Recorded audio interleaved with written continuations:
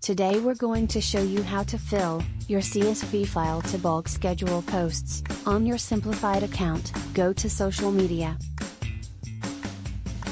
Click bulk schedule posts on your social media dashboard. To make sure your CSV file follows the format described, download the example by clicking Get Examples. Once the example CSV opens, you can edit by clicking File, then make a copy.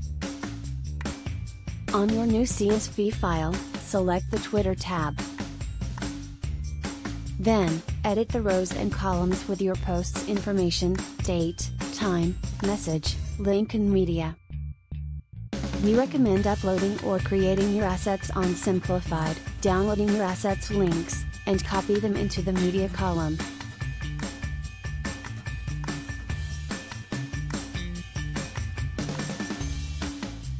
After completing your CSV file, click on File, and then Download.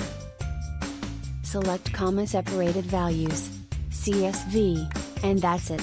To more videos, check our Academy and Help Center.